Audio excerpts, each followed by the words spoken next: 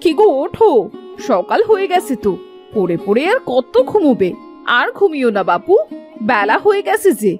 ওঠো এবার কাজে যাবে না? আহ গিন্নি আমাকে জ্বালিও না তো। একটু শান্তিতে ঘুমাতে দাও। সেই কাল রাত থেকে ঘুমোচ্ছ। তা তোমার ঘুম পুড়ছে না নাকি হ্যাঁ? না আমার ঘুম পড়ছে না তাই তো ঘুমাচ্ছি। তাতে তোমার কি সমস্যা? আমাকে একটু ঘুমাতে দেখলে তোমার গা জ্বালা করে তাই না গিন্নি? কেন? আমি কি তোমার শত্রু নাকি? শত্রু না হলে এমন করো কেন? আমাকে একটু শুতে দেখলেই তোমার গা জ্বলা শুরু করে কেন? অমনি তুমি চেঁচামেচি কেন শুরু করে দাও হুম? কি বলছোটা কি তুমি? কখন গাছ উঠল শুনি? তোমাকে আমি কি বললাম? ভালো কথা বললেও দোষ। এখন তো তুমি কিছুই বুঝতে পারবে না।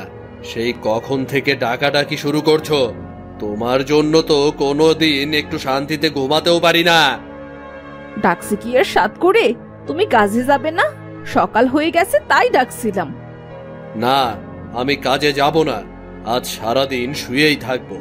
দেখি তুমি কি করতে পারো। কাজে না গেলে আর কি করব? মেয়েটাকে নিয়ে তো না খেয়ে মরতে হবে। তোমার কি আর সেই চিন্তা আছে? ঘরে যে কোনো খাবার নেই কিচ্ছুটি নেই।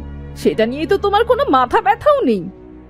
আমার মাথা থাকলে তো মাথা ব্যথা থাকবে তাই না? সব মাথা ব্যথা তো তোমার। তুমি তো কাজ করে প্রতিদিন বাজার করে নিয়ে আসো সংসার চালাও। আমি তো কিচ্ছু করি না। হ্যাঁ হ্যাঁ আমি সংসার চালাবো? তো তোমার সংসারে সারাদিন ভূতের বেকার খাটি কেন হ্যাঁ? খামোকা খেটো না। আমি কি তোমাকে বলেছি খাটতে? না তোমার মতো একদিন কাজে গেলাম আর একদিন ঘরে পড়ে থাকলাম। তুমি যদি ঠিকমতো কাজই করতে তাহলে তো আমাদের সংসারে এত অভাবই থাকতো না। মেয়েটাকে নিয়ে দুবেলা ঠিকমতো খেতে পারতাম। সারাদিন এত খায় খায় করো কেন? খাওয়া ছাড়া আর কোনো কথা তুমি বলতে পারো না? আচ্ছা খাওয়ার কথা না হয় বাদই দিলাম। ঘরটার কি অবস্থা সেদিকে তোমার কি কোনো খেয়াল আছে? কেন? ঘরের আবার কি হলো? সেটা তো তোমার চোখে পড়ে না। একবার ঘরের সালের দিকে তাকিয়ে দেখো। ঘরের ভেতর থেকেই আকাশ দেখা যাবে।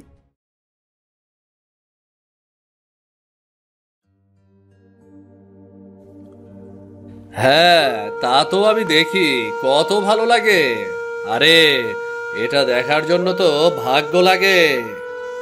ওরে আমার ভাগ্যওয়ালা রে! বর্ষার সময় যখন ঘরে পানিতে ভরে যাবে তখন বুঝবে। ঘরটা ভেঙে পড়বে। তখন দেখো ভাগ্যটা যেন আমার দুর্ভাগ্যে পরিণত না হয়। মা ও মা তোমরা আবার সকাল সকাল ঝগড়া শুরু করেছ কেন? আমার খুব খিদে পেয়েছে মা। আমায় কিছু খেতে দাও। আমার কাছে খাবার না চেয়ে তোর বাপের কাছে চা আমি তো সারাদিন শুধু খাই খাই করি। যা। তোর বাপের কাছ থেকে খাবার চেয়ে খা। এতক্ষণ আমার সাথে চেঁচামেচি করে মন ভরেনি। এবার মেয়েটার সাথে শুরু করেছ। মুখ দিয়ে কোনো সময় ভালো কথা বের হয় না তোমার। বাবা আমার খুব খিদে পেয়েছে। আমায় একটু খেতে দেবে বাবা? আমি সে আর পারছি না। তুই গিয়ে দেখ ঘরে কিছু আছে কিনা। আমি কাজে যাচ্ছি। কাজ থেকে আসার সময় আমি বাজার নিয়ে আসব। আমি তো ভালো না। তাহলে থাকো তোমরা। আমার দুসুক সেদিকে যায়, আমি সেদিকেই শুনলাম যাও তো আমার চোখের সামনে থেকে, দূর হও তো, একটু শান্তিতে থাকি।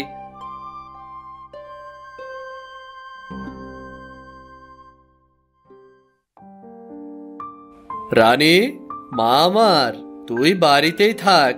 আমি কাজ করে টাকা পেলে বাজার করে নিয়ে আসব।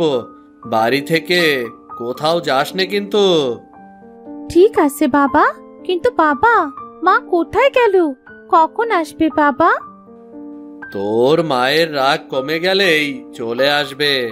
তুই চিন্তা করিস না তুই সাবধানে থাকিস আমি কাজে গেলাম।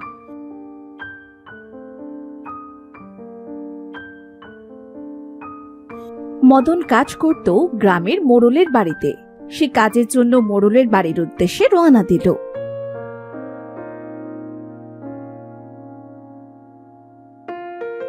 কি মদন, চলে এসেছিস?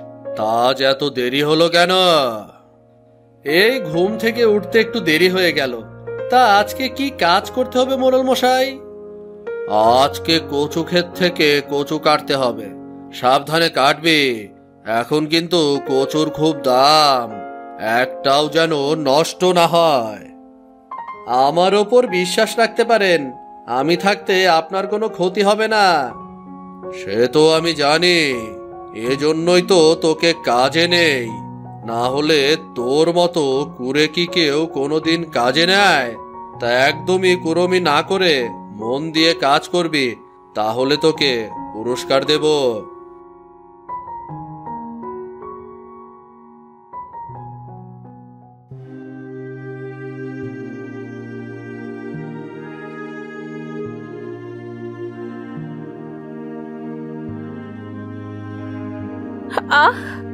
হাঁটতে হাঁটতে ক্লান্ত হয়ে গেছি।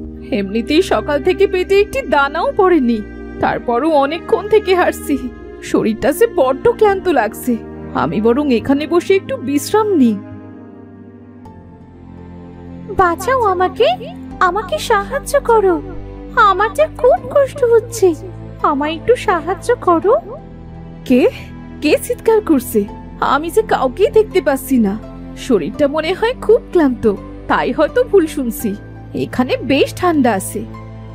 আরে না না তুমি ভুল শোনোনি গো। এই তো আমি আমি তোমার সামনে আমি কচু গাছ আমি তোমার কাছে সাহায্য চাচ্ছি। ও মা গো মা এই আমি কি দেখছি? গাছ নাকি কথা বলে এমন আবার হয় নাকি? এইটা কীভাবে সম্ভব? সম্ভব সবই সম্ভব। আমি তোমাকে সব বলব। আগে তুমি আমায় বাঁচাও। আমি আর থাকতে পারছি না। কিন্তু আমি কীভাবে তোমায় সাহায্য করব? আমার গোড়ায় আগাছায় পড়ে গেছে। ওরা আমার শরীর থেকে সব রস শুষে নিচ্ছে। আমার যে খুব কষ্ট হচ্ছে। তুমি একটু অপেক্ষা করো। আমি তোমার গোড়ার সব আগাছা পরিষ্কার করে দিচ্ছি। বিনু কচু গাছের কথা মতো হাত দিয়ে সবগুলো আগাছা পরিষ্কার করে দেয়। আহ, বাঁচালে আমায়। আগাছাগুলোর জন্য খুব কষ্ট হচ্ছিল আমার আমার গোড়ায় একটু পানি দেবে গো। অনেক দিন হয়ে গেল পানি পাইনি। এখানে পানি পাবো কোথায়? আচ্ছা ঠিক আছে। তুমি একটু অপেক্ষা করো, আমি পানি খুঁজে নিয়ে আসি। ঠিক আছে, মেয়ে। একটু তাড়াতাড়ি আসার চেষ্টা করো। চেষ্টায় আমার প্রাণ শুকিয়ে গেছে। ঠিক আছে, আমি পানি খুঁজতে গেলাম। তুমি আরেকটু কষ্ট করো। আমি এক্ষুনি ফিরে আসব।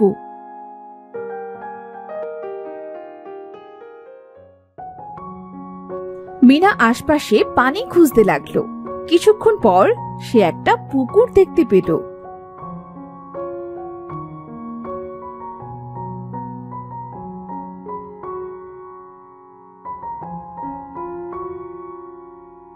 সেখান থেকে সে পানি এনে কচু গাছের গোড়ায় দিল। আহ কত দিন পর পানি পেলাম। মনে হচ্ছে আমার প্রাণটা ফিরে এসেছে। তোমায় অনেক অনেক ধন্যবাদ গো। তুমি আমার বড় উপকার করেছ। তোমার এই উপকারের কথা আমি কোনো দিন ভুলবো না। এবার বলো তুমি কি করে কথা বলতে পারো? অন্য গাছেরা তো তোমার মতো কথা বলতে পারে না। আমি তো কোনো সাধারণ কচু গাছ না। আমি হলাম মায়াবী কচু গাছ আমার কাছে জাদু আছে, আর এর জন্যই আমি কথা বলতে পারি। তা তুমি এখানে আসলে কি করে? আমাদের মায়াবী রাজ্যে একটা ঋষি আছে। উনি ওখান থেকে কটা মায়াবী কচু গাছ নিয়ে যাচ্ছিলেন। আর যাওয়ার পথে আমি এখানে পড়ে যাই, আর তখন থেকেই আমি এখানে আছি। তা তুমি বললে যে তুমি জাদু জানো, তা তোমার এত কষ্ট হচ্ছিল, তবে তুমি জাদু করে তা ঠিক করনি কেন? পানির অভাবে আর আগাছায় আমার শক্তি সব শুষে নিয়েছিল। দিনে দিনে আমি দুর্বল হয়ে পড়েছিলাম আর আমার জাদু শক্তিও আস্তে আস্তে শেষ হয়ে গিয়েছিল। তা এখন তোমার জাদু শক্তি ফিরে এসেছে? এখন তো তোমার শরীর তাজা হয়ে গেছে। হ্যাঁ মেয়ে, এখন আমি আমার শক্তি ফিরে পেয়েছি। তা তোমার কি হয়েছে মেয়ে? দেখে তো মনে হচ্ছে তুমি খুব ক্লান্ত। তা বলতে পারো, বেশ ক্লান্ত আমি। বাড়ি থেকে ঝগড়া করে বেরিয়েছি। ওমা, কেন? তা কার সাথে ঝগড়া করেছ শুনি? মিনা তখন সব কথা কচু গাছকে খুলে বলল।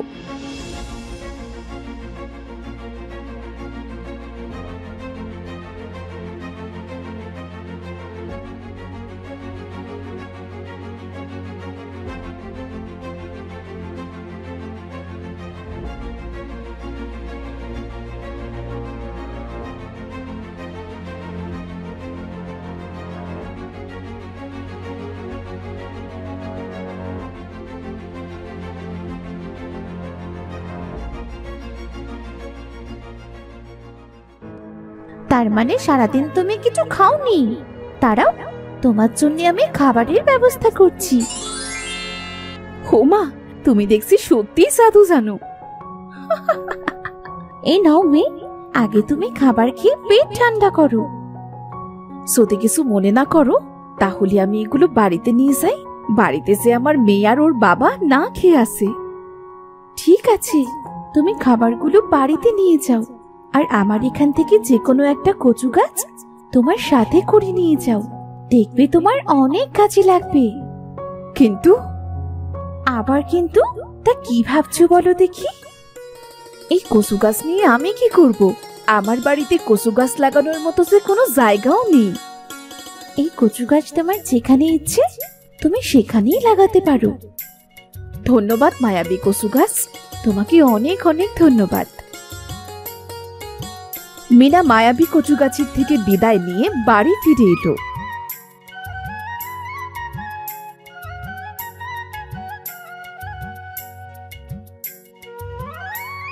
মা ওমা তুমি এসেছ? আমি সেই কখন থেকে তোমায় খুঁজছি? আমার একা একা খুব ভয় লাগছিল মা। ভাগলি মেয়ে আমার তাও তো ভয় কিসের? আমি তো চলেই এসেছি মা। সারাদিন মনে হয় কিছু খাসনি। চল আগে কিছু খাবার খেয়ে নে। তোর বাবা? তোর বাবা এখনও কাজ থেকে ফেরেনি? না মা বাবা এখনও ফেরেনি।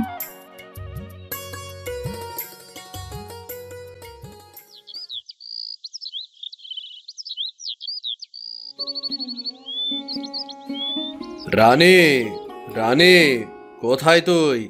বাইরে আয়। দেখ মা তোর জন্য কত কিছু এনেছি আমি। এত বাজার করে এনেছো? মা ও মা দেখো মা বাবা কত বাজার করে এনেছে। গিন্নি তুমি বাড়িতে ফিরে এসেছ? আমাকে তুমি ক্ষমা করে দাও। তোমাকে ওভাবে বলা আমার ঠিক হয়নি। দেখো আজ অনেক বাজার করে এনেছি। যাও তাড়াতাড়ি রান্না বসাও। আজ অনেক কাজ করেছি খুব খিদা পেয়েছে। বাবা মাও তো অনেক মজার মজার খাবার এনেছে। বাড়িতে তো খাবার কিছু ছিল না। তা তুমি এত খাবার কোথায় পেলে?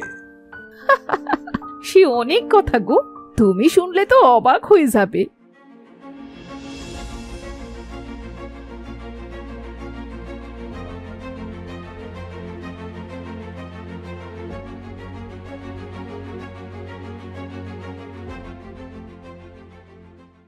কি আজব কি আজব। গিন্নি, কচু গাছ লাগানোর জায়গা নেই, তবে কি হয়েছে? আমাদের ঘরের চাল তো আছে। ঘরের চালে কচু চাষ হবে। ও কথা ঠিক। মায়াবী কসু তো বলছিল, যেখানে ইচ্ছে সেখানেই কসু লাগাতে পারব। চলো তাহলে কসু গাছটি চালের উপরে লাগিয়ে দিয়ে আসি।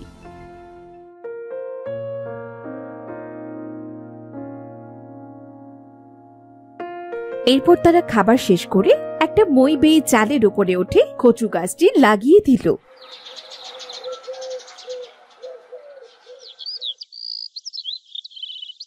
পরদিন সকালে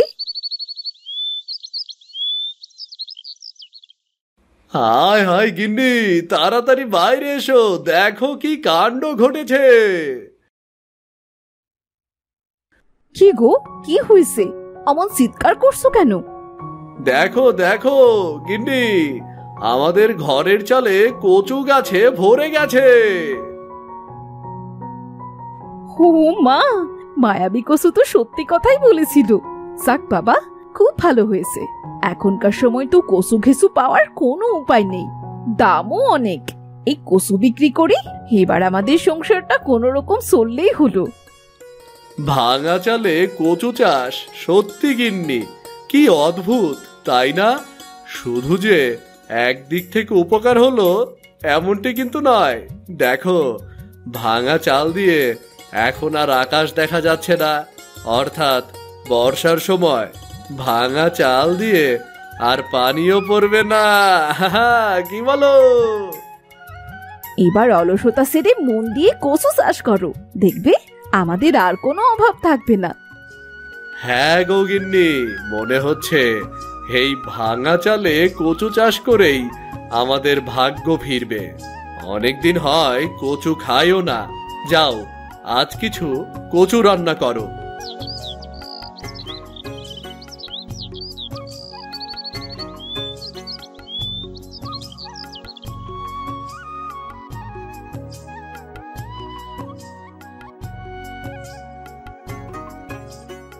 আহ তোমার হাতের কচু রান্নার কি যে স্বাদ।